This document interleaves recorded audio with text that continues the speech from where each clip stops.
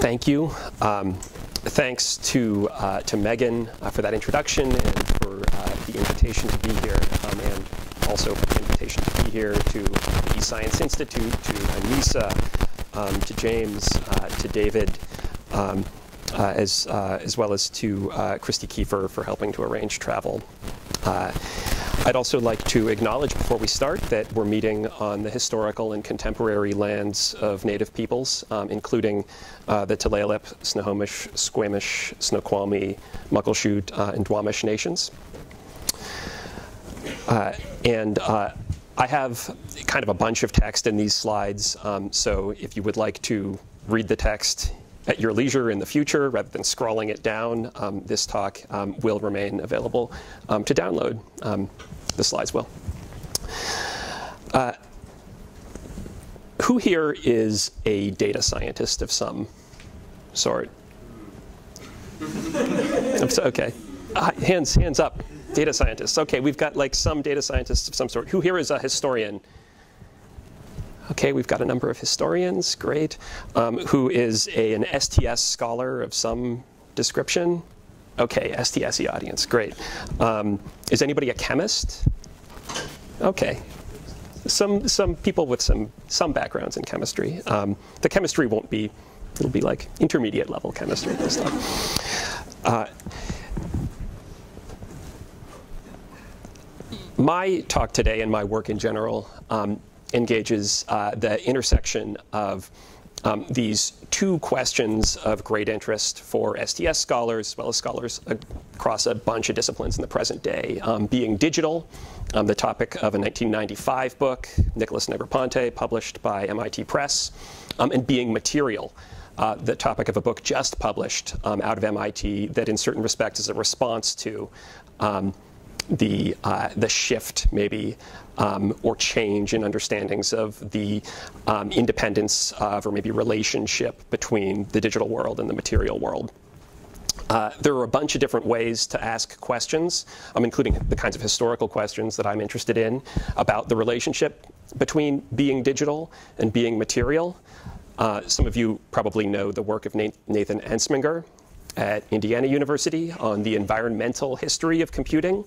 Um, so what are the material impacts of digital stuff?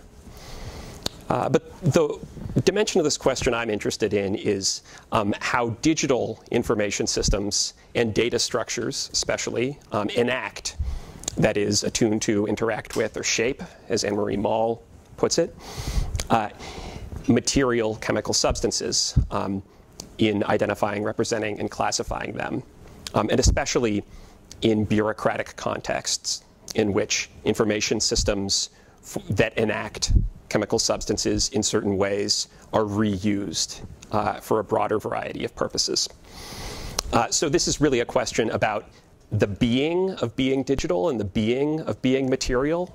What kinds of beings um, are brought into existence um, through the interactions between the digital and the material, a question of ontology.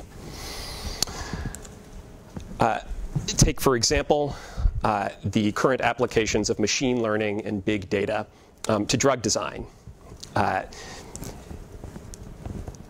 methods have been developed using virtual libraries of billions upon billions of chemical compounds, billions of different molecular structures like these, um, and uh, methods for modeling the properties of these chemical substances, what might make them useful drugs, safe drugs, or less so, um, have developed to the point that, um, at least in the opinion of some people working in this field, uh, the bottleneck in our exploration of chemical space has become the material ability to dare to make compounds. It's a strong framing of the process of drug discovery in digital terms. The exploration of chemical space in virtual form is what's central here. We can also see this in efforts to grapple with the potential um, hazards of the material world um, to human and environmental health. Uh, very similar sorts of techniques in many cases, often picked up from drug, um, drug discovery uh, methods, have been developed to try to model the toxicity of chemical substances along all of these various different sorts of dimensions.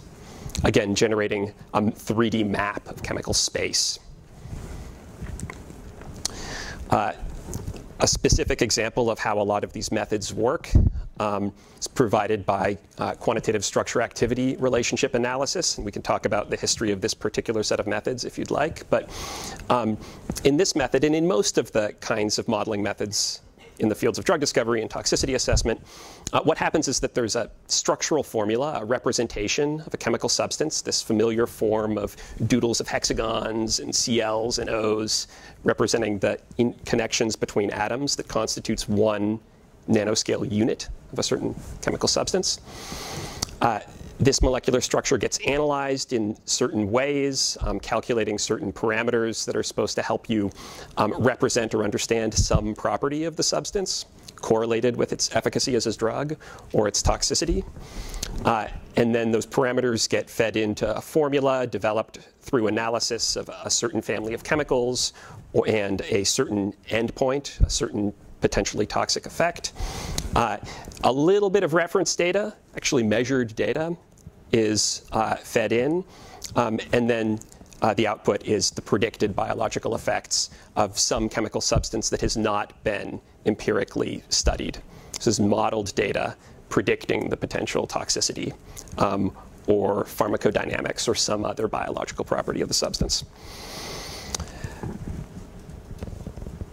Part of the process of designing these sorts of methods is not just in the statistics of doing the correlations, analyzing the measured data, building the models, uh, but in the data structures that are used to represent this diagrammatic formula for a chemical substance in a machine interpretable way. Uh, lots of different ways of doing this. You can have one of these impossibly long and illegible chemical names. That's one way of representing this structural formula uh, in terms that are manageable otherwise, but that's not so useful for doing this kinds of calculations. You can have a database identifier that's just a unique identifier, has no information about the structure in it, so that's not useful for this. Um, you can use a expanded and explicit tabular format called a connection table. I'll talk about these a bit more in a moment. Um, that definitely contains the information necessary for doing this kind of processing, but um, in an expansive form that can involve more money, more time, more storage space, more processing power isn't an economical way to do this modeling. And then there's sometimes other clever forms of representation, like this form of string known as the SMILES format, um, developed expressly to facilitate this kind of modeling work. So lots of different data structures for representing this molecular structure, this um, uh, set of atoms connected by a certain set of bonds. A couple observations make about this. First, this is an old, this way of thinking about how chemistry can be done virtually rather than materially in the laboratory has been around for a long time. Uh, philosophers and scientists were anticipating that science, chemistry would become a science of information since at least the late 60s. Uh, information resources were vital, um, as vital as the thermometer to doing chemistry since the early 20th century. Uh, and the exploration of chemical space was leading in a direction that some chemists termed uh, mechanical, scientifically uninteresting since the late 19th century. second observation is that this way of representing chemical substances is old as well. Um, it's been around since about the 1860s, um, since before most of the what we now consider to be the foundations of how chemistry works. Electrons mediating relationships between atoms were, had even been conceived of.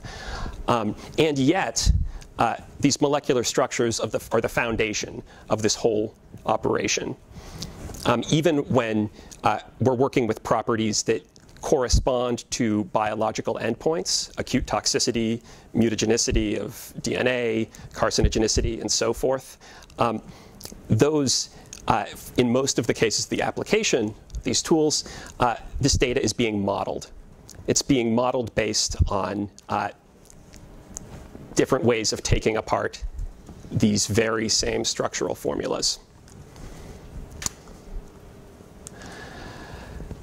this idea that a chemical substance is a structural formula representation is some machine readable or information management friendly representation of the identity of that substance. Uh, dates back to actually a partic particularly specific point in time, a big conference at 1892, which I'll speak about in a moment. Um, and I think of this as the molecular ideal. Um, it's not how chemists think about what chemicals are. Chemists know that chemicals behave in all sorts of different ways in different material media, in different environments. They can take on different three dimensional shapes.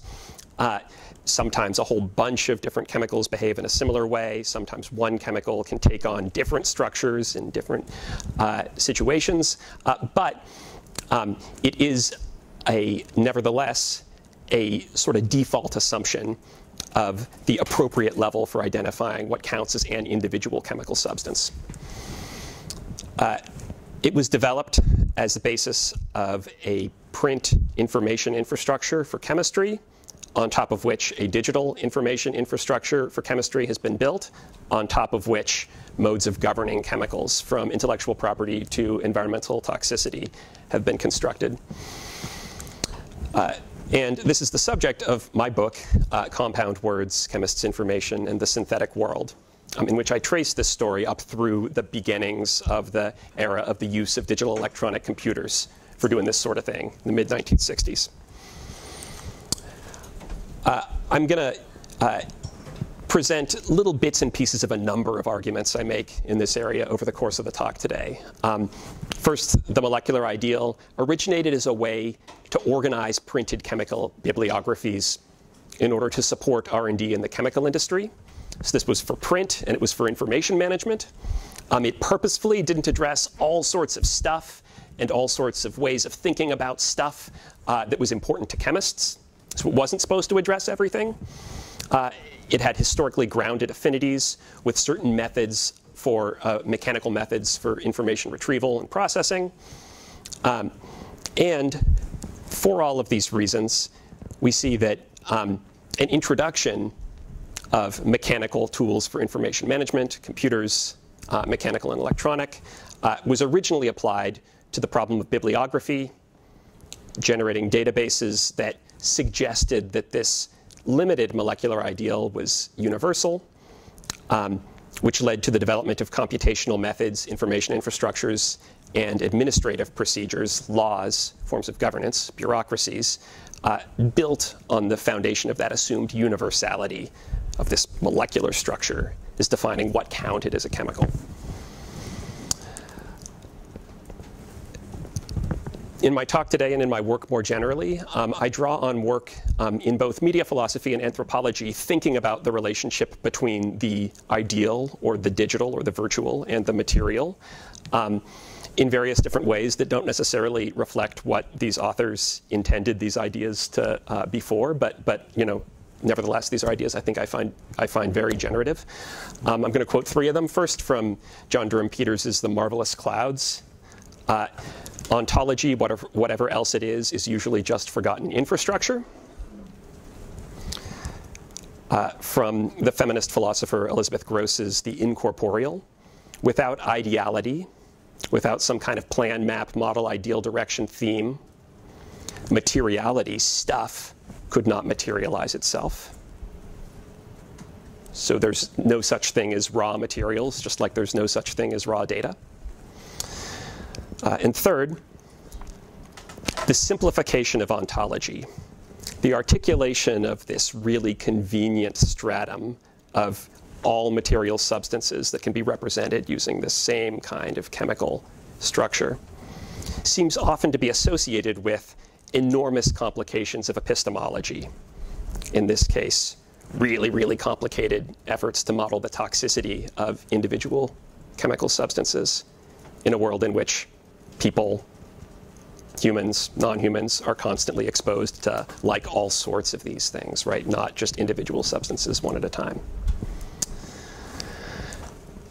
Uh, over the next half hour, maybe 25 minutes, I'm going to take you through a kind of sampler platter of my work uh, in this area, starting out with um, the argument of my book, compound words, moving on to a few comments about the connection between this chemical history um, and the history of a very different field of science, um, applied science, graph theory. I'll talk a little bit about um, the uh, applications in computational science fields within chemistry and without of some of these chemical data structures and methods, um, and then move on to some of my work on uh, how the application of chemical databases developed for these kind of internal chemical science and industry purposes in environmental governance has created some of the um, successes and also shortcomings of uh, environmental politics and environmental regulation in the present day. So, compound words. So, we're in the late 19th century high tech industry, synthetic organic chemistry. We're taking coal tar, this carcinogenic, nasty sludge. We're making brilliant dyes like Diazo Brilliant Scarlet RON Extra. Um, great, exciting drugs like aspirin and heroin. These are both the work of the Bayer Corporation. Uh, and these are fields of industrial science that are built on the foundation of structural organic chemistry. Structural organic chemistry was the answer to a major puzzle for chemists in the mid 19th century, and that is that sometimes chemical substances with the same composition, C3H8O, um, had different properties, propyl alcohol, isopropyl alcohol. This was a, a, puzzle in the field of organic chemistry, the chemistry of carbon-based substances, uh, because in inorganic chemistry, the chemistry of minerals and salts, things with different compositions had different, or with the same composition had only one set of properties typically. Um, so this problem of isomerism, as they called it, was a kind of constitutive of the research enterprise of organic chemistry in the mid 19th century. Um, and one particularly fruitful way of grappling with this problem involved using diagrams, diagrams that came to be known as constitutional or structural formulas uh, that posited a kind of set of connections among individual atomic bits um, as a way of trying to make sense of some of these differences in properties among chemicals with the same, uh, same composition. This is from a 19, an 1858 article in Philosophical Magazine, a British publication. These structural formulas were not supposed to represent what chemists thought the material world was actually like at the nano level. Chemists were really insistent about this. These were just heuristic, useful representations of experimental regularities that allowed them to reason graphically about these regularities that manifested themselves in the laboratory. And so if you draw propyl alcohol this way, three C's in the OH there, versus isopropyl alcohol, three C's in the OH in the middle, um, you can explain the different patterns of reaction um, of these compounds, and maybe even start working your way towards trying to explain the differences in their properties. So this was exciting, led to an expansion of the enterprise of organic chemistry, um, but there was a kind of a, a, large space in chemistry between these very simple compounds like propyl and isopropyl alcohol and uh, substances that were kind of the brass ring for chemists who were wishing to try to um, make valuable natural substances synthetically, um, like the drug quinine um, or the dye indigo. And so chemists working their way, trying to bootstrap their way up from these simple substances to the more complex substances, uh, synthesized like lots and lots and lots and lots and lots of chemical substances um, that had not previously been found in nature. And since they were synthesized in the process of trying to reason their way forward structurally, thinking with constitutional formulas, often chemists would assign these new chemical substances names based on their interpretations of their molecular constitution or structure. Uh, however,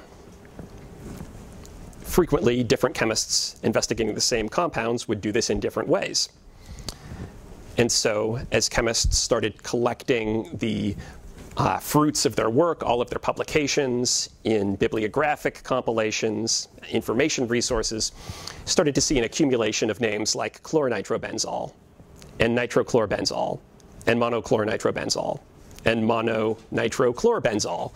Uh, four different names for the same compound, or maybe not the same compound, not entirely clear, on four different pages, no cross references. This was becoming a mess, um, and a mess that many chemists in this field felt was threatening the continued progress of their enterprise, an enterprise that, with all those dyes and drugs, was starting to become quite profitable. So a bunch of them got together and in 1892 uh, met uh, for a big congress, the one and only time that very important chemists have gotten together to talk about chemical nomenclature and only chemical nomenclature. This was at 18, in 1892, um, and it was a chemical constitutional moment, um, which is a joke, but it's more than a joke uh, because the basis of uh, how the literature of chemistry, the bibliography of chemistry was going to be put in order was by means of finding a fixed, determinate way of translating these structural formulas into systematic names and back. Uh, the members of the Congress came up with this set of rules that constituted um, an algorithm, although they didn't refer to it as such, but that's what it was, uh, for uh, writing official names of compounds uh, that were faithful translations of the molecular constitution. We're supposed to represent the compound just as the structural formula does, which is to say that you could map back and forth between structural formula and chemical name. Uh, these were only supposed to apply to chemicals of a known constitution. You couldn't write one of these names for a chemical compound that hadn't had its molecular structure determined or that couldn't have its molecular structure determined, um, like the mineral asbestos doesn't have a molecular structure in the same way. Uh, and these names, uh, as one of the pioneering chemists to first use these structural formulas pointed out, were therefore not necessarily names of substances so much as they were names of formulas. The name was the name of a formula, not the name of a substance. It was a representation of a representation, not directly tied to the material. Um, but that was okay, because the chemists knew what chemicals were, right? They weren't going to get confused. They weren't going to confuse a formula for a substance. Um, they just wanted to be able to more effectively use their, by this time, 5, 10, 20 volume encyclopedias giving data and bibliographic references for all the world's research on all the world's chemicals, at least within the domain of chemists working in this mode of molecular chemistry. So these names worked out more or less. Um, there were some hiccups, uh, but they were applied by uh, institutions, rapidly growing institutions um, uh, that were engaged in this work of chemical bibliography indexing, compilation. Uh, one of the central such organizations was Chemical Abstracts, uh, a branch of the American Chemical Society based in Columbus, Ohio. Uh, and uh, one of the uh, associate editors at Chemical Abstracts in 1938 wrote about what the work of using this method of nomenclature, compiling these indexes, uh, involved. She said, We read aloud in pairs, one checking the cards and the other the galleys. This is for the production of a collective index at the end of a 10 year period. A few hours of choice bits like C20H25N30 delta 2 pyrazoline 5, open parenthesis, 2 furyl, close parenthesis, 1 phenyl 3, open parenthesis, so on and so on, is enough to make us reel. And there's some really interesting commentary on uh, index work as labor and the embodied experience and the kinds of um, psychological and, and physical traits necessary to succeed in this job in this article. Uh, but this was, this was difficult work, um, and it was uh, expert work. You had to really understand how these names worked better than the chemists did in order to compile uh, these resources. For this reason, uh, as the cost and quantity of expert labor in this field of chemical compilation increased, uh, the purveyors of new machine methods of information management saw this as a lucrative field of application uh, for uh, things like punched cards and then later digital electronic computers. The biggest push at the moment, in the view of this aspiring entrepreneur, Calvin Mooers, 1947, uh, was not governments uh, or even large libraries, but the American Chemical Society. Yada, yada, yada. A lot of interesting stuff happens in the 1950s and 60s, which we can talk about. But um, by the early 1960s, chemical abstracts really solidifies its place as the major player in the global chemical information business through the development of a uh, computer database that is going to facilitate their compilation of their printed resources, but also serve as a clearinghouse for what counts as chemical identity for chemical substances for anybody who um, is is looking for a sort of authoritative definition of what a chemical substance is and determining whether what they're working with is the same thing that they think it is.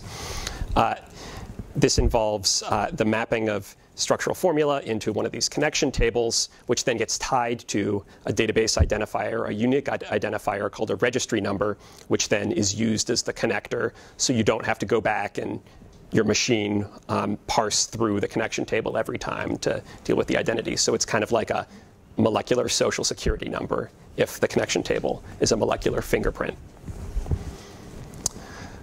So 1965, CAS registry, big computer system, authoritative definition of what chemicals are, um, the identity of individual chemical substances, um, organized around this idea of the molecular structure as the implicit but now kind of hidden, submerged site of what entitles a substance to be counted as a chemical.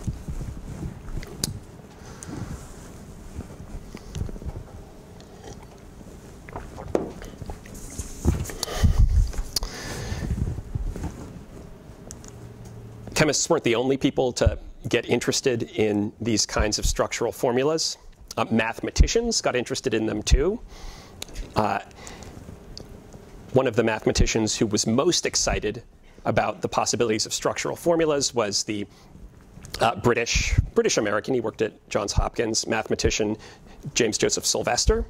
Um, Sylvester read textbooks filled with structural formulas, and as he wrote, felt like Aladdin might have done in walking in the garden where every tree was laden with precious stones.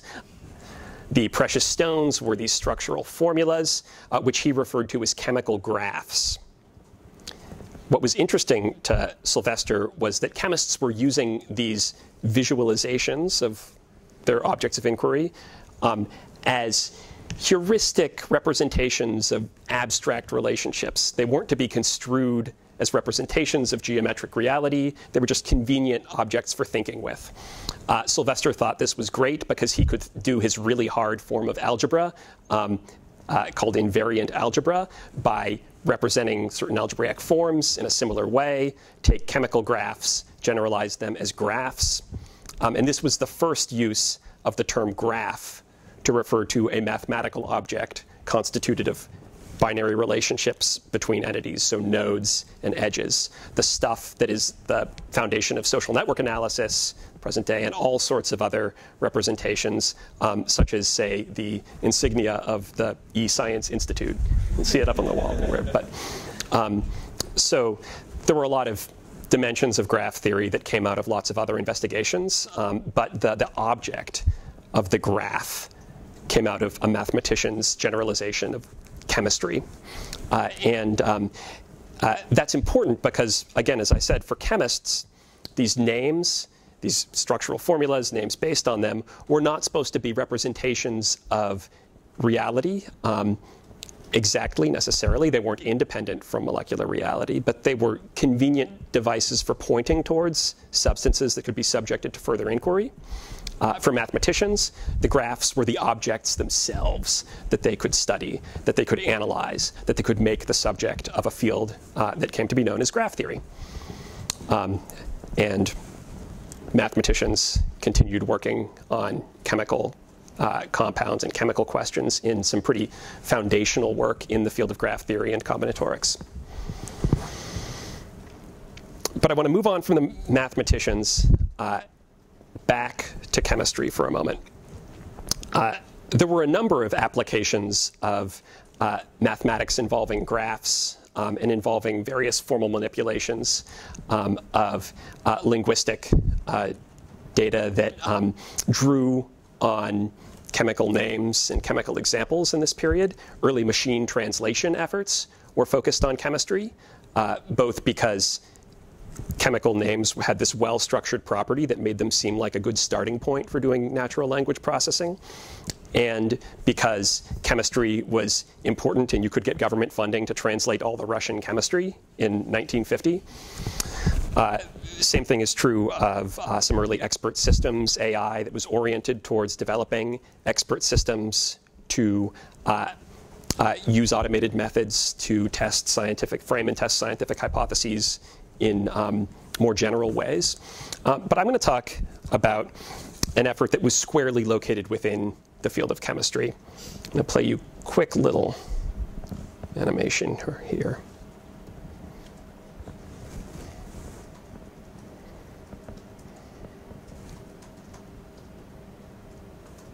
This is from 1973.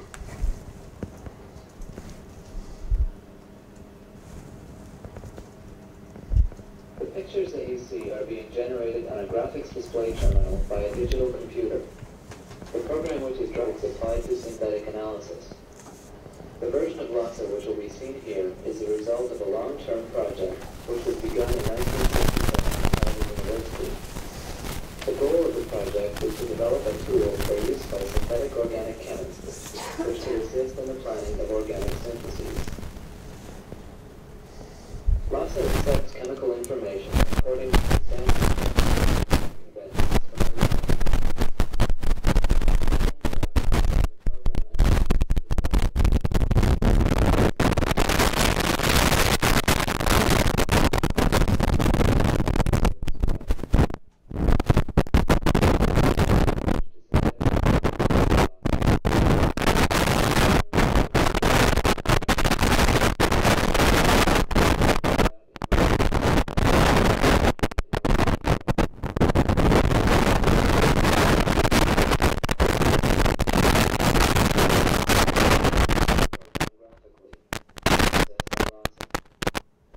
The program then generates a small collection of intermediate structures, each of which is one synthetic step away from the parent structure. These intermediate structures may then be treated by the program as targets and processed further, generating still another level of intermediate structures. If this process is repeated a number of times, eventually a collection of simple structures results responds to a relative So we want to we plug it into our computer, we push go, and the computer starts working backwards, taking this complicated apart.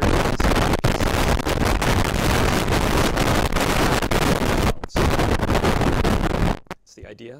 You can see molecular ideal starting to take hold in chemistry. Now we're not talking about these molecular structures representing substances that we've got in front of us, um, or names as references in a bibliography, but as objects that are being manipulated and kind of understood as having their own kind of logic to them. Um, this was the work of the chemist E.J. Corey at Harvard and a group of graduate students and postdocs in the 1960s and 70s developed through the 1990s this program LHASA, Logic and Heuristics Applied to Synthetic Analysis. Uh, it was developed in a modular fashion, graphical communication, perception of structural features, and so forth. These are all activities that the computer is doing with a human user mediating the transition from each stage to the, uh, to the next. Uh, and uh, it was an activity, the automation of these various different aspects of what it meant to plan an organic synthesis of a complicated molecule that as our narrator Jeff Howe, an early grad student on the project, pointed out, involved um, expressing explicitly and consistently chemical ideas, ideas about subunits of molecular structures, and transformations in a forward direction and in a backward direction of synthetic substances, uh, more explicitly than chemists were accustomed to thinking about these processes. And we can talk about the development of data structures in order to enact this explicit representation and to serve as interfaces for transferring data back and forth between the different modules involved in this program. but the point I want to make is that uh, the chemists developing this program saw what they were doing um, and went to great pains, at least, to present what they were doing as chemistry rather than programming. Uh, this was uh, an effort to write out chemically meaningful flowcharts and translate them into a chemically meaningful high-level programming language um, that would result in um, an enterprise not less challenging and rewarding than the conception and execution at the wet lab bench of a synthesis of one of these molecules itself. So this process of making explicit the process, the ways of thinking about planning a synthesis for the purposes of automating it was seen as chemistry. And in fact, it was within chemistry and not within the realm of uh, the development of AI expert systems that this enterprise took hold. Uh, the LHASA project kind of petered out, never really caught on as an aid for working chemists. But retrosynthetic analysis, the way of thinking about the process of planning the synthesis, became the taken for granted way that chemists now, um, since the 1990s certainly, um, have gone about learning and often practicing uh, the planning of organic syntheses. So this was uh, the development of a way of thinking in chemistry that came out of this automation project, out of thinking about uh, structural formulas, out of the molecular ideal.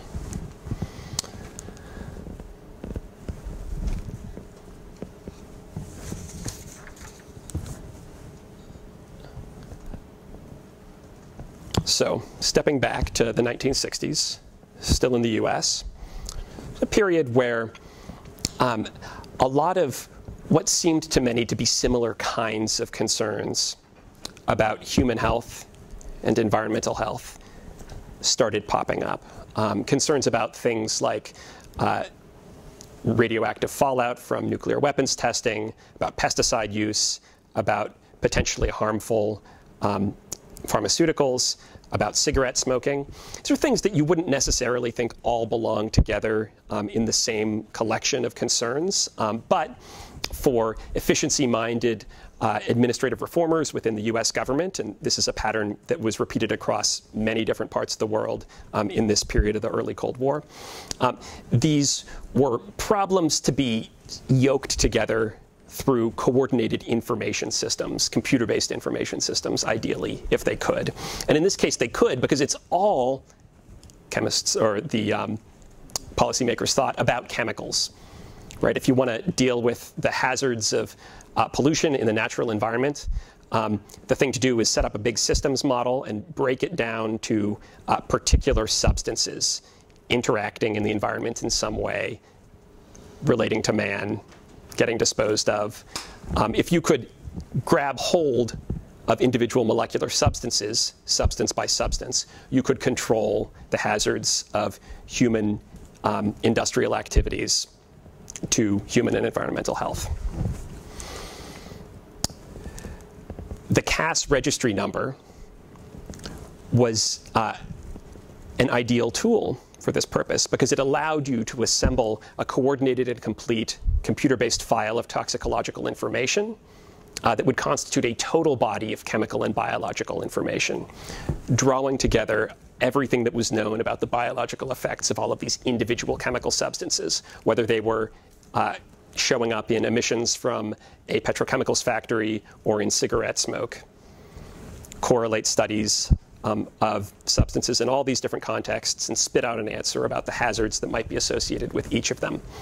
Um, in fact, the CAS registry number was actually funded, the CAS registry was funded by the US National Science Foundation expressly for this purpose. Uh, by the late 1970s, uh, the use of the CAS registry, and specifically these registry numbers, had caught on. It had become a universal identifier that, as this, uh, as an NIH computing expert put it, um, should be what scientists think of um, as the uh, link between um, of uh, the thing linking um, all chemical information together as a body. The body of chemical information um, is held together by the universal identifier. So now we've got this new kind of concept of a body of chemical information being constituted by the links created by these identifiers. as one of the architects of the um, early implementation of the U.S. Toxic Substances Control Act, an environmental chemicals law passed in 1976, put it, um, this also created trouble. The CAS means of identification led to all kinds of technical issues, nomenclature issues that took huge amounts of time and resources. Uh, messing around with these registry numbers and with chemical names uh, turned out to take all these resources and seem, at least to uh, this EPA official, to have nothing to do with protecting health and safety. Um, it was just a bureaucratic exercise. Uh, so I think that one way of reading this quotation is understanding that the, the, what protecting health and safety meant in this period of the 1970s and early 80s was precisely a bureaucratic exercise. It was the bureaucratic management of information about chemical substances by means of CAS registry numbers, um, and ultimately uh, using a system built on the foundation of the assumption that these structural formulas represented material reality. Uh, that was what uh, the development of an infrastructure of law administration uh, came to be all about. Uh, this is what I think of as molecular bureaucracy. Uh, you can think about it if you're familiar with um, Michel Foucault's notion of governmentality, right? An ensemble of uh, institutions, um, practices that articulate a population so that it can be uh, measured and managed. Uh, molecular bureaucracy is kind of like the governmentality of the material world. It articulates a population of materials as chemical substances of given structures uh, that can uh, be managed accordingly.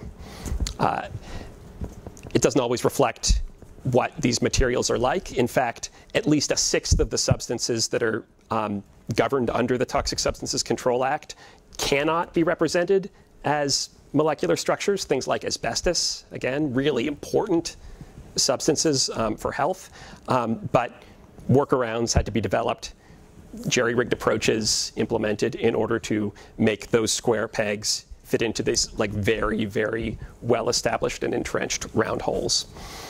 Uh, molecular bureaucracy has had all sorts of um, very enabling effects for political claim making and for legal claim making about the hazards of chemical substances. Uh, the capacity to connect hazards associated with such different products and exposures as the manufacturing of Teflon pans and the uh, uh, use of firefighting foams on military bases. Um, uh, you know, the ability to use these material unities to connect very different kinds of activities and make broader health claims um, has been enabled by molecular bureaucracy. Uh, but in the same way, the pattern of what some public health scholars call toxic chemical whack-a-mole, um, in which lots of attention is focused on making a claim about a particular chemical substance, only for some other substance that presents similar hazards to slip in in its place. Um, that has been enabled by this molecule by molecule approach to governing the material world as well. And importantly, um, to wrap up, uh, a way of thinking about both the hazards of the chemical dimensions of industrial modernity and ways of um, addressing and redressing those hazards um, focused on the enumeration of damage to bodies, to lands, has been not determined, but, but strongly enabled by molecular bureaucracy, by this molecule by molecule approach to thinking about the negative biological and environmental endpoints of individual materials. Um, this is not a system that has proven, at least so far, especially adaptive to or enabling of making uh, the kind of claims that the education scholar Eve Tuck refers to as desire based uh, research agendas and political claims, claims that take the complexity um, and self-determination of individuals who might be subject to certain forms of uh, negative effects of um, uses and disposals and exposures to chemicals into account. Um, and the kinds of claims that, ironically, um, might enable people to think not just about what we do not want our chemicals to do, um, but ask the much more radical question of what do we really want the chemicals that we manufacture and use to do. What do we need out of them? What do we want out of them? How do we wish to be in relation to them?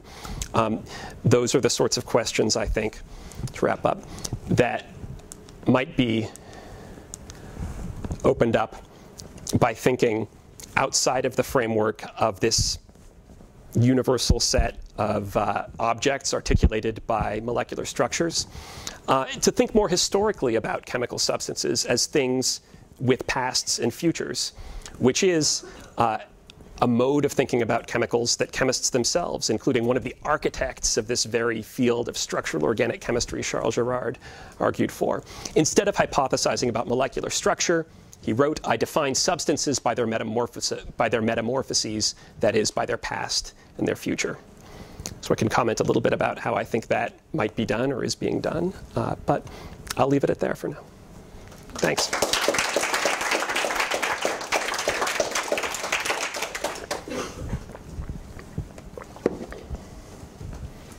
Told you I had lots of text. Happy to take any questions you have or go back and dig in in a little bit more detail to any of the moments in the talk. I don't know that I've Yeah. fully formulated my question yet, but um, I, so I love how you um, link the kind of ontologizing of what counts as a chemical to, um, you know, the, the ways of categorizing and managing chemicals and the implications that has for um, regulating the chemical industry and its, its ramifications on human health. And I, I just am wondering if there's, uh, if you could say more, um, thinking in a, in, in a similar vein about the um, LHASA program and the, um, the establishment of, what, I forget what you call it, retro... Retrosynthetic analysis, yeah. Analysis um, as kind of the, the standard in uh, synthetic chemistry. What are the sort of um, ramifications or implications for epistemological traditions within chemistry? Like what, what does that foreclose and enable in the same way that molecular bureaucracy forecloses and enables certain things on the regulatory side of things? Any Sure. Yeah. Yeah, definitely. Um, so one noteworthy feature of the development of retrosynthetic analysis was that this was a way of thinking about um, so planning a synthesis in the 1950s and 1960s in synthetic organic chemistry a synthesis of a complicated molecule was like the most fun and awesome thing you could do and creative thing you could do as a chemist so this was very much the development of this automation program was very much um, a controversial thing seen as somebody trying to kind of put computers where they don't belong. This is like, this is the fun part, this is the creative part, this is the place where in genius, kind of brilliant human intuition is contributing new ideas to the font of uh, the chemical sciences. Um, but it came out of a, a, pedagogical context. Corey had to teach an intro course of like a bunch of grad students how to think about synthetic planning. Um, and it was in the course of thinking about making this process more accessible uh, that uh, he started working out this method. So there's a kind of a, a disciplinary politics to it um, of as it's a kind of a democratizing move within the field of synthetic organic chemistry. So that's one answer.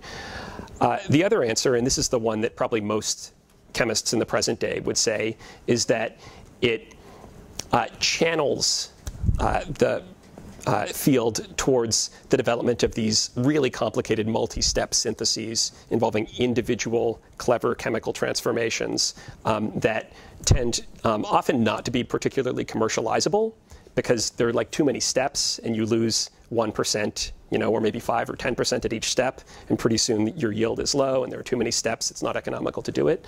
Um, and uh, they tend to uh, not favor thinking about the kinds of factors that people in the field of green chemistry, say in the present day, would um, would value most. What kinds of reagents are you using? What kinds of materials are getting generated um, in middle steps? Are they going to be hazardous if they get emitted, you know, if you're thinking in terms of something that will perhaps be scaled up.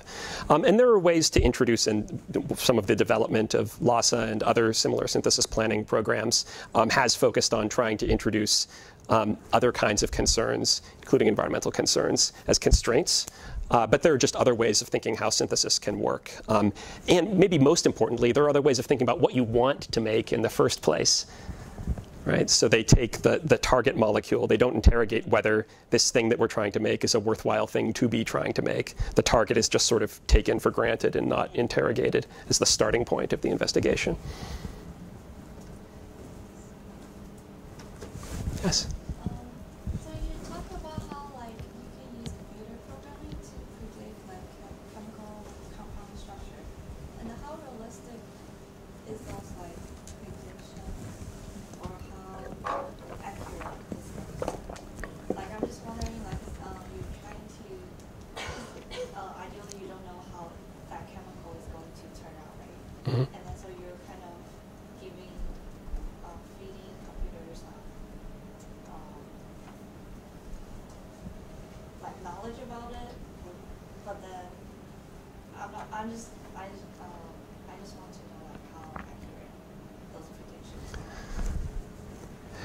Um, I, the, the, the short answer is a cop out answer, which is it can really vary significantly. Um, what's uh, the way most of the kinds of um, programs I was referring to uh, work is that what gets fed in is the structure, one of these structural formulas of a chemical compound, and uh, what comes out the other side is either the prediction of a particular property so maybe it's the LD50, the amount of uh, the substance that will prove um, uh, terminally toxic, that will kill 50% of lab animals to which it's administered. Uh, it's nice to not have to kill that many lab animals in trying to determine a quantity like that, and maybe you don't need to actually know that very precisely in order to make a judgment about the safety of a chemical. And so um, it may well be that in certain circumstances the predictions are accurate enough. Um, in other circumstances, uh, they'll um, be less accurate, and maybe you're dealing with you know compounds that can potentially have some mutagenic effect at a very small concentration, say, and so there might be a concern that this modeled data is not sufficient to uh, make, say, regulatory judgments on the basis of. Uh, the historically significant and socially significant dimension of this is that there's really a lot of uncertainty surrounding um, the potential, the reliability of a lot of these judgments, which uh, makes them good for having fights with, um, and not necessarily good for making definitive judgments with. Um, and uh, one of the constitutive features of politics of chemical toxicity is like lots of fights and not a lot of definitive decisions that people are satisfied with. Um, and so I think that um, thinking about not just whether or not these tools, how precise and accurate some of these modeling tools are, but in what cases is precision and accuracy, whose interests is precision or, and accuracy, or maybe even absence of precision and accuracy serving? What kinds of arguments is a more or less precise, more or less accurate um, perception of the functioning of a tool? Um, who are using you know, these features uh, into what end? Yes.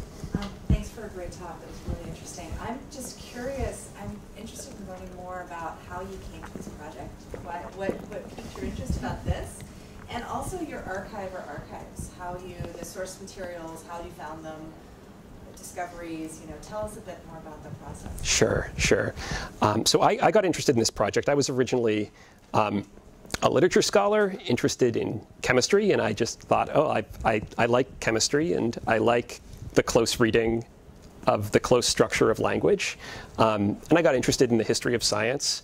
And I thought, well, maybe I'll do something having to do with the fine structure of language and chemistry. Um, and I actually ended up doing the project I came to grad school with, which is like an unusual thing. So I, I, I think it was dumb luck, really. But uh, the, um, the archives I've drawn upon um, are um, a pretty wide range of kinds of materials. So for the earlier part of the story I tell in my book, which is centered in Europe in the late 19th century, um, there are a lot of materials from individual scientists' papers who were closely involved in um, events like the Geneva Congress and other discussions of uh, the development of chemical nomenclature methods and standards.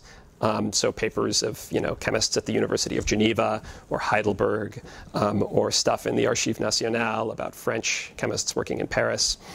uh, I look at, and that includes correspondence and notes from minutes of meetings and things like that. Um, I have material from corporate archives, like the Bayer Archive. That's where those photographs came from. Archives of 3M I've looked at in Minnesota.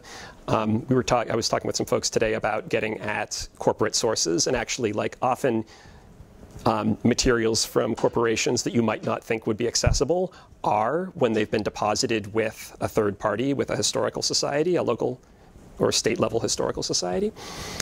Uh, I've also gotten materials from Chemical Abstracts. I went there and did some oral history, and somebody sent me a box of materials. Said go nuts. And I was like, oh, fantastic. Uh, and um, you know, some of the more recent materials I've gotten through kind of a lot of stuff through doing oral history and having interviews. So that's where I got the film. That's just a short clip from a hour and a half long film documenting the Lhasa project. That like the 16 millimeter film was shipped out to me in a big box, and I got it digitized. And um, and uh, any other particularly interesting source stories. Um, yeah, so it's really eclectic, and it's not necessarily an approach to a project that I would advocate to somebody who wants to like have a, a nice, well-defined research project that will be done and easily revised into a book in a straightforward fashion. But um, but I've just always been interested in drawing together different kinds of questions and different kinds of sources, um, as uh, you know, as best I can. Oh, my favorite source, sorry, is is one I've been working on recently, and it is a um, a parody uh, issue of the Journal of the Society for Chemical Industry that was published for a banquet dinner of the New York section of the Society in 1898.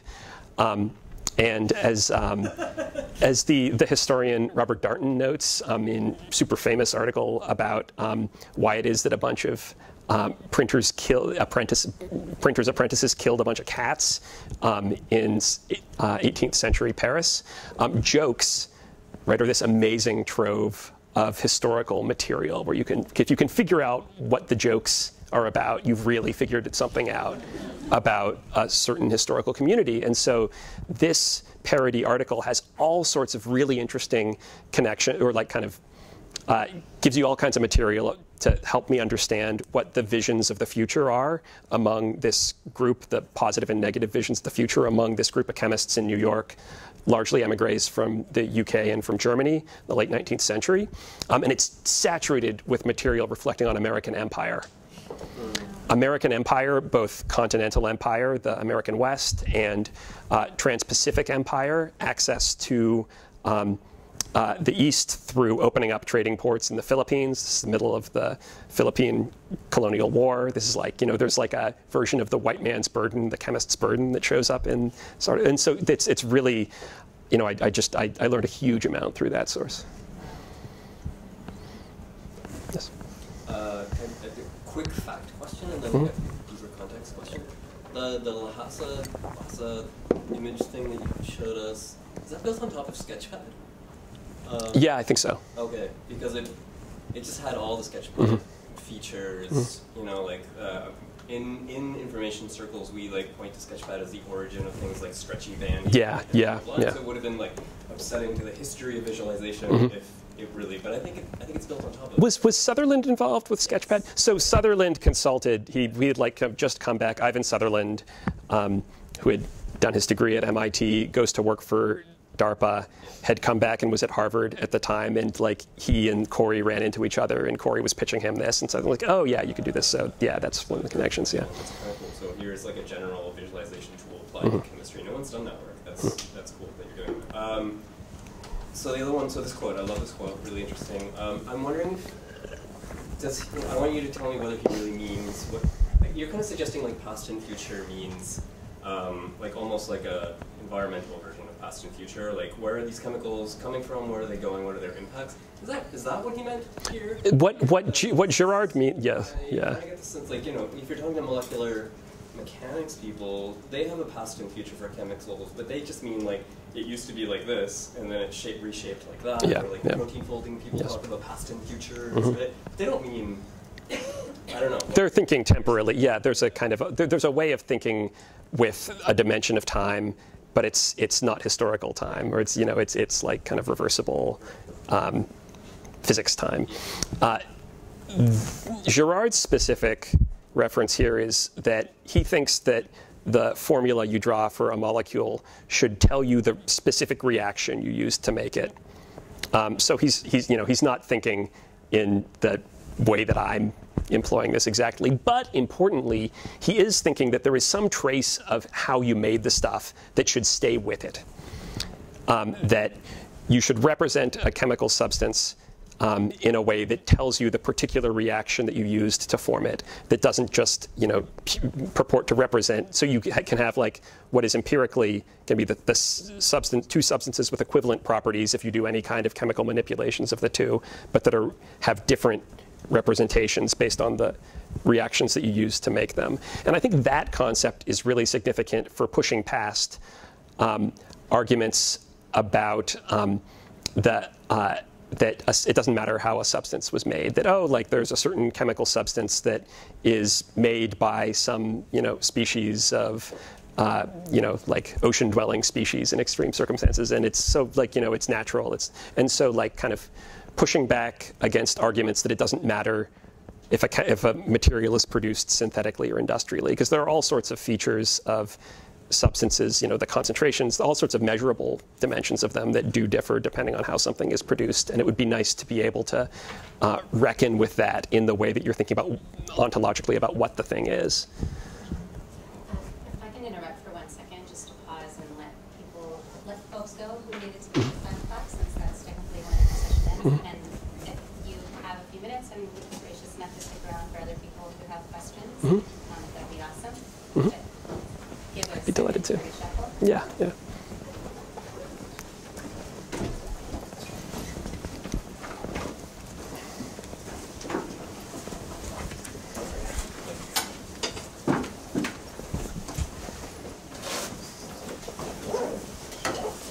Hi, thanks for coming. Hi, thanks for coming. Thanks for coming.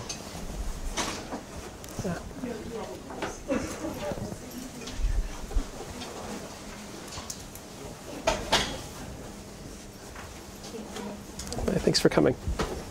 Thanks for coming.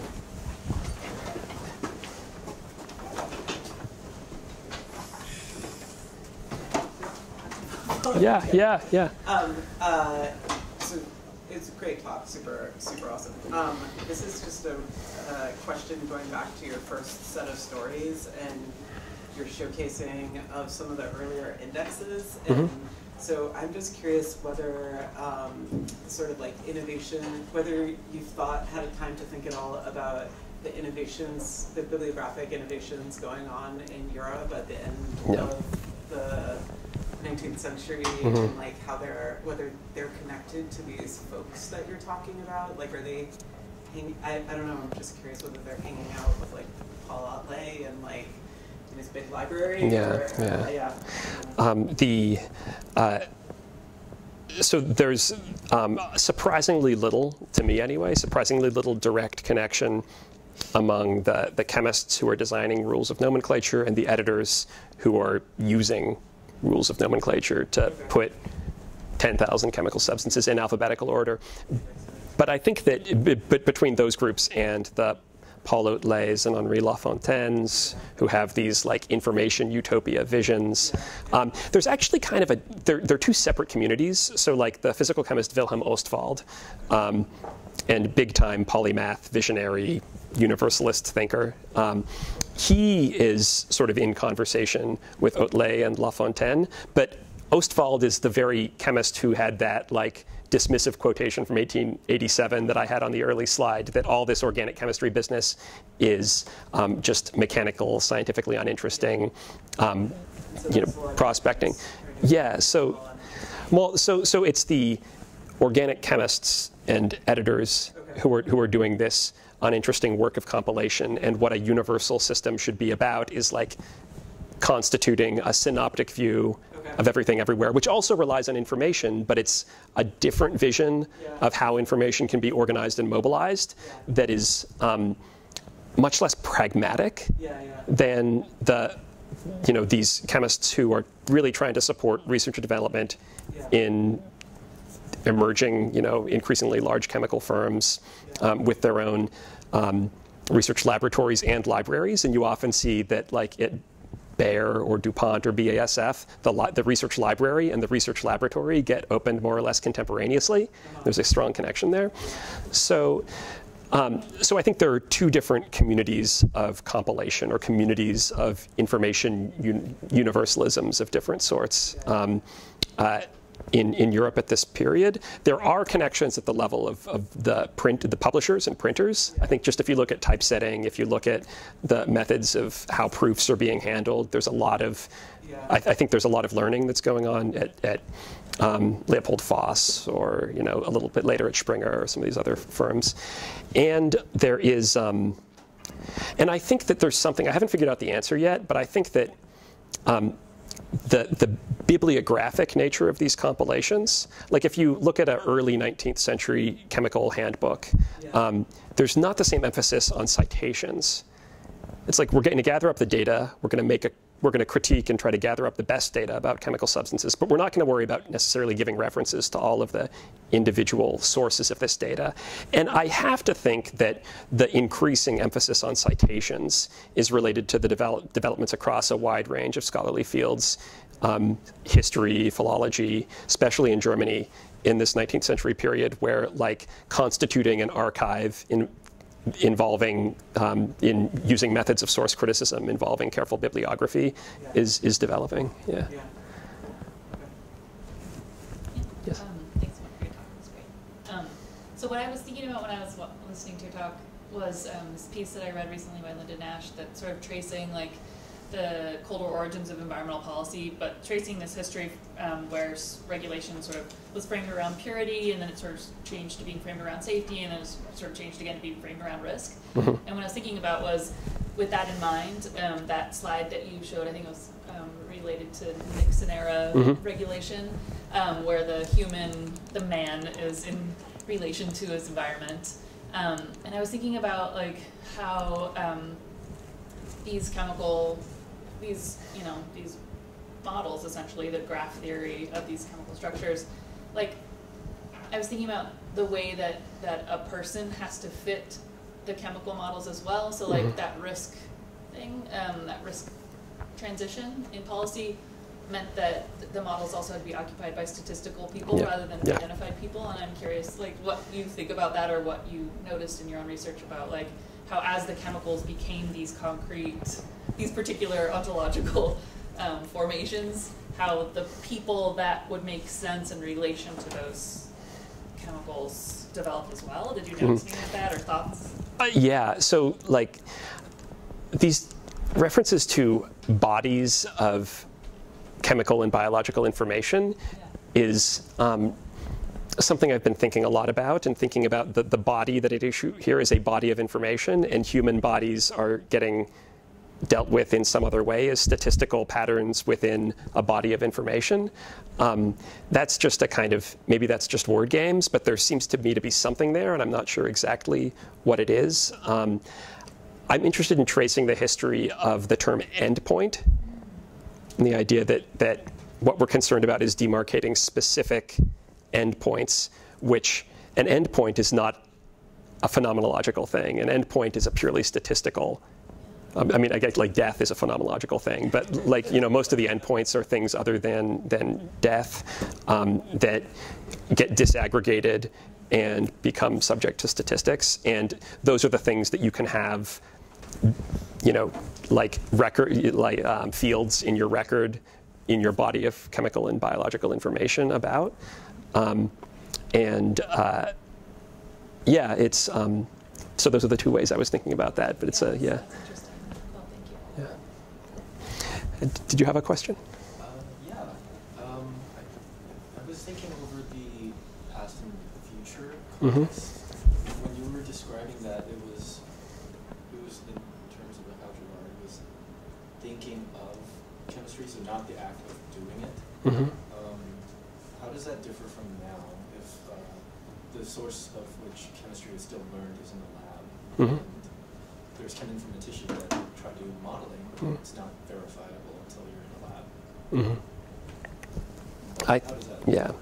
I mean, I think like going back to the opening quotation I gave from that article in, in Nature, um, uh, I think that that for some practitioners in, in cheminformatics, um, what they're they're just like interested in developing models and making predictions, and um, lab work is the bottleneck. You know, and what's interesting is exploring chemical space and figuring out ways of suggesting new lead compounds in drug discovery or in materials development. Uh, and um, it's it's a bother that the chemists doing the bench work aren't, you know, working more quickly to let them continue their um, in virtual investigations. Um, I, I think like a really important feature of doing organic chemistry specifically is there's a lot of waiting. Um, to a certain extent, this seems to be decreasing as more and more robotics is introduced into chemistry labs, but there's just a lot of waiting, sitting in labs. Your reaction takes eight hours to go, and it's just the nature of the process that you've got to wait eight hours. And if you get the brown gunk instead of the white powder, like I always did when I was in the lab, you've got to wait another eight hours.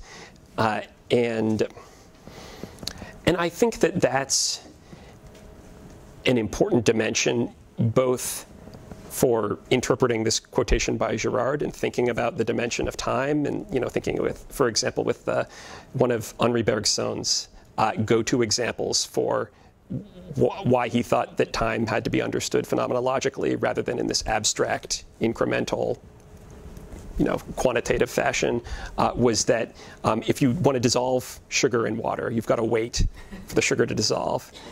And there's no getting around the experience of waiting for your sugar to dissolve into your tea or water or whatever. Uh, and I think that that's important. Um, one example of a broader collection of um, experiences of doing chemistry that's, among other things, important for the formation of, for identity formation among chemists and for thinking about what, how chemists construe their own expertise and who has and what kinds of claims they are entitled to make that other people might not be entitled to make about the um, qualities, possibilities, safety, hazard, usefulness of material substances. Um, I haven't thought carefully about that, but but I think it's I think it's important to reckon with. Yeah. Oh. Did you want to quickly follow up on that? Or, Yeah. but I'll yeah. I have somewhat of a different question. Uh huh. Um, the, I guess the idea of like how some of these things are conceptualized, how the, how they are made into a whole registry system. Was it only a few pedigrees that were learning these things, or was it a true convention, like a lot of different types of people instead of like five, ten people that were the conversation? Um, up. I thought. There were um, a, a wide range of chemists. The idea of um, translating chemic structural formulas into words and then back became not necessarily follow, not necessarily following one specific set of rules strictly and algorithmically, but just this capacity to work with real complicated names and recover a structure from them became a really a quite important part of training in chemistry. Uh, chemists, uh, when they got together in things like this 1898 banquet dinner, would after dinner like retire and and you know like have drinking songs involving reciting long litanies of uh, these names to like the tune of Der Wacht am Rhein and other you know, and like Auld Lang Syne and other patriotic tunes of their national origin. Um, uh, and so, working with th- this kind of thinking and reasoning and, and facility became pretty widely distributed within. Um, uh, among chemists, chemists working in all sorts of different settings, um, you know, in industry, independently for themselves, in government, in addition to in academic settings, a pretty large group, like kind of the largest group of trained scientists in most European and uh, North American contexts, and the you know really even through the present day, but certainly um, in the late 19th and early 20th centuries. Um, so, uh, but the specific set of capacities that would enable you to like work reliably and create unique names for every compound that could conceivably be listed in chemical abstracts, that was a very, very narrow form of expertise that was really um, concentrated among the people, especially working on indexing, indexes. Um, and then forms of this expertise um, uh, got taken up or become the basis of um, uh, constituting other sorts of fields, like doing patent searching for uh, chemicals and um, in a few other areas. Yeah. yeah. Devin. Uh, so there's a slide. Uh, I have two questions about LHASA. One, one is this this slide uh, that has a flowchart uh, and a couple of other things. There's a snippet of code on here. Mm-hmm. Is this designed to be like it looks like it's supposed to be a readable Yep. code system? Is that LHASA or is it a different project? That is LHASA. It's the language. So it's this language which they called ChemTran. Okay. CHMTRN, ChemTran. So, so, so this is developed as a, what you would do is you would map out in a flowchart the set of decisions that would be made to judge, um, to assign a possible backward step a value. Is this a good, plausible backward step we can take? Is this like totally chemically impossible and we should throw it out?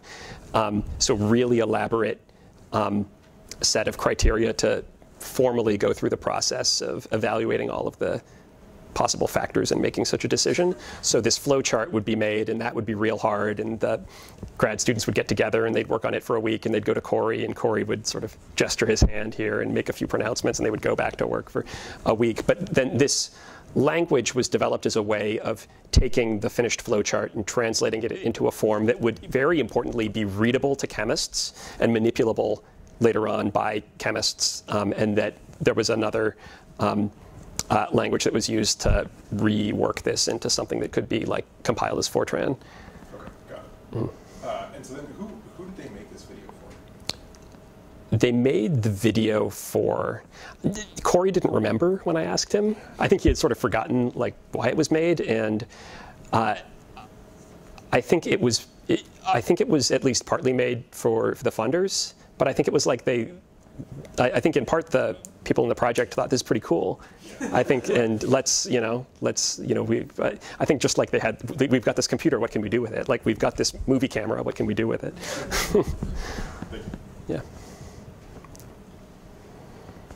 Yes, Andrea. So I'm, um, I'd like to ask you a little bit about the 19th century Mhm. uh, history, and in particular, um, I'm wondering about um, your presentation that the structural formulas in general weren't treated as uh, deeply representational, right, of the underlying reality. And it seems to me that that maybe their status was a little more uh, contested, that wasn't clear in the community. And so, I mean, one of the reasons why, and well, across the communities, obviously there are lots of different sorts of communities using them. Um, because, because I've always been tempted to think about the development of the structural, uh, the structural formulas in relation to debates about atomism in Mhm. the 19th century. And, um, and, and specifically, I guess, uh, have been interested in the work of Benjamin Brodie, which I Mhm. think sort of only makes sense to the extent, I mean, Brodie clearly was worried that the structural formulas were pushing, precisely because of their pragmatic utility, were pushing the community implicitly to accept an atomistic vision, even while there wasn't good empirical evidence for it at that point in time, and was worried about Mhm. that, right, the impact of that. And Mhm. so then when he introduced this other algebraic formulation that was intended to get rid of all the structural formulas precisely because of that kind of worry, um, as an alternative and as a more uh, neutral representation of what the underlying reality was. I mean, ultimately didn't work because pragmatically it wasn't feasible, but it Mhm. seems to me that sort of uh, that brings to the surface that there was a real tension in the community, that some people were um, quite tempted to read the formulas in a realistic way, and others were very tempted to read it much more instrumentally. Mhm. Um, depending on how committed they were to Mhm. atomism and, and kind of a molecular vision Mhm. already at that stage. Mhm. So I'm wondering what you, what you think about that, if you think that's that that that that sense of uh, a debate in the community that on some level is recognized by uncertainty of the status of the Mhm. representations, whether that seems accurate or not. Yeah. Um, I mean, you, you were going through quite quickly, so Yeah. it's a little hard for me Yeah. to know. Um, so I'm just, yeah. That's a fair assessment of my presentation. Yeah. Thank you. Yeah.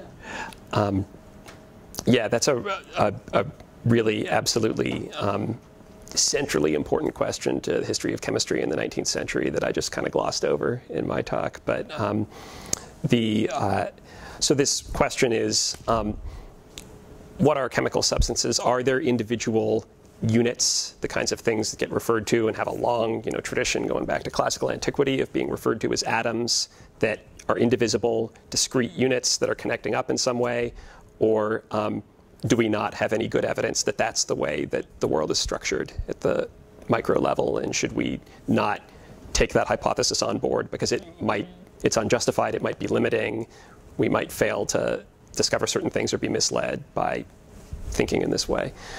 Um, the work of, of Alan Rocke, um, historian of 19th century chemistry, um, is basically my go-to source on thinking about these questions. And, and so what, what Alan argues is that um, there are two kinds of atomism that have to be distinguished. Physical atomism, which is this realist commitment to the notion that there are real physical atoms that are like little balls, you know, connected to each other, and like John Dalton, the um, uh, British physicist, early or chemist in the early 20th century, is a good ex- or early 19th century, a good example of this.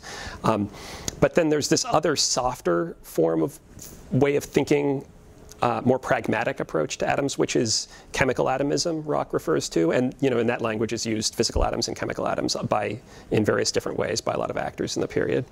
Uh, which is that you know we're not going to claim that and make any claims about how the world is structured at this nanoscale level. Uh, but gosh, it's useful to just kind of pragmatically behave as if there are these individual indiv- indivisible units that persist and reconnect with each other uh, through chemical reactions.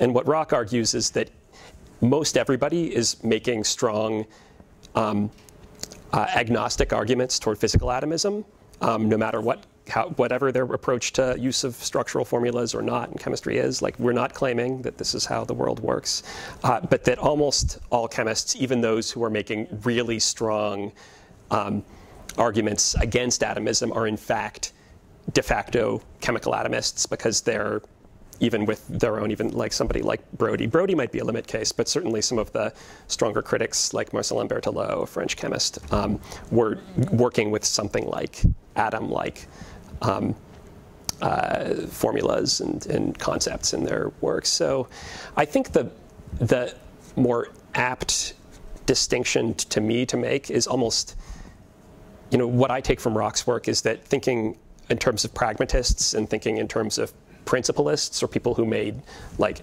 who were really cared about epistemological questions um, is uh, kind of the more significant breaking point. And there were just a lot of chemists who didn't. And that breaks down along. Um, along institutional lines, just in terms of the difference between the organization of the German and British and French education systems and like the politics of like if you're in Paris, you're going to be having arguments about epistemology because that's what like people in Paris in the 19th century, even through the present day, do, um, and but less so at the more um, independent German universities, stronger ties um, toward the late 19th century with emerging industries. Yeah. a direct follow-on. Mhm. So, I actually I want to restate and see if I get your argument um, in the larger picture. So, and this is really helpful. So it's you're saying that at that point in time, the 19th century, there was like a there was two possible models, but they were being fairly careful, the physical and chemical. You were saying. Or, and, and so is am I to understand that like the molecular ideal, and especially with that quote that you said about like Mhm. infrastructure is for Yeah. or ontology is forgotten infrastructure.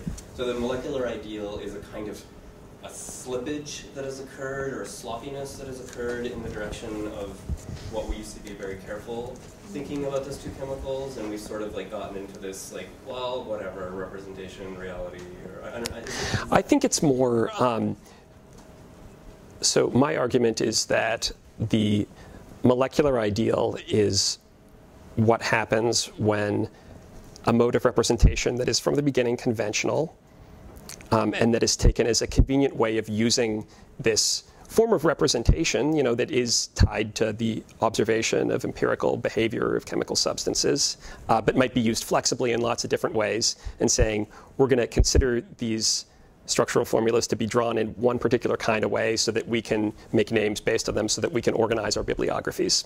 So this conventional tool, um, not arbitrary, but conventional mode of identification and representation for use in bibliography for dealing with large collections of chemicals, not for dealing with thinking about individual chemicals, um, gets picked up um, and reused outside of the chemical sciences um, in adjacent fields. Uh, and sometimes even within the chemical sciences in or within um, informatics work within chemistry, say. So um, an ontology, the, a way of doing bibliography when one wishes to do things other than find a citation in within collections of very large collections of many, many, you know, different identities of chemical substances. That's when the um, convention takes on ontological force. Um, and there was something else I wanted to say about that, and that was, I forgot. Anyway. So. Yeah. We do need to get Evan to dinner, so Oh. let's thank you. Thank you.